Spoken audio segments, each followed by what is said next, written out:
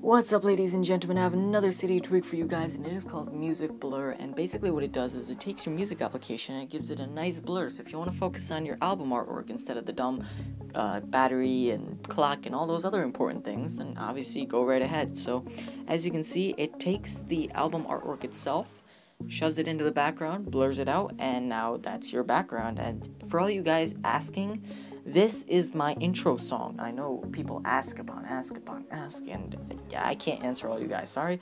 But if you're wondering, this is the song that for my intro, and uh, yeah. And I hope that intro never gets boring because somehow this song never seems to get old. I don't know how that's pretty much it for the Cydia tweak. I wanted to share with you guys what song I use. I wanted to share with you guys a cool little tweak that makes your music application look more uh, iOS 7-ish, even though it's already pretty iOS 7-ish, if that's a word. Thank you for watching. This is going to be me logging off.